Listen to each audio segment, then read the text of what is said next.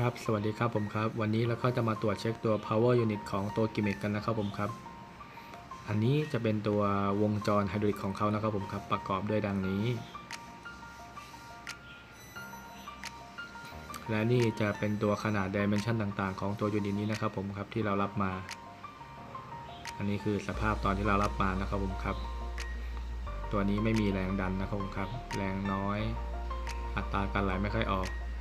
ก่อนอื่นเราก็ถอดดูตัวชุดต้นกำลังเขาก่อนเลยครับ ผมคือปั๊มไฮดรอลิก ตัวนี้จะเป็นตัววาล์วเพจนะครับผมครับสังเกตเลยครับผมเป็นรอยลึกอีกแล้วน้ำมันขาดน้ำมันสกปรกทีไรก็สภาพนี้เลย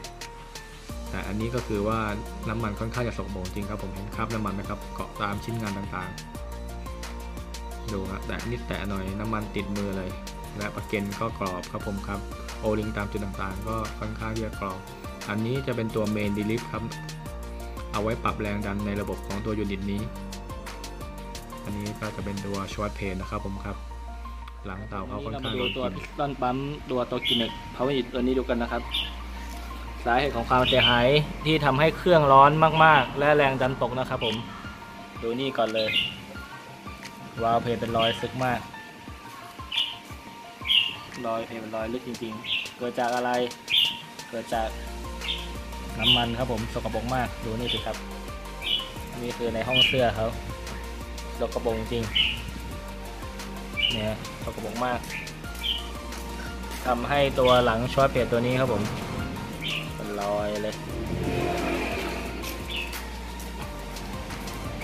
นี่สกปรกจริงๆดูนี่รอยดำเลย สาเหตุของ ความเสียหายของตัวปั๊มไฮดรอลิกเองแล้วเนี่ยครับผมก็ยังหนีไม่พ้นเรื่องของความสะอาดครับผมครับ ของระบบ ลูกค้ามักจะเติม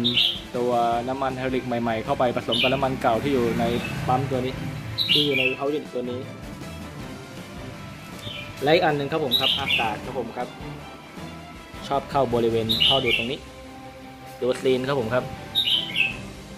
ดูซีนฮะ ซีนกรอบเรียบเลย บางเรียบหายไปเลยเพราะโดนความร้อน แล้วก็ใช้นานแล้วไม่มีการเปลี่ยนทำให้แรงดันตก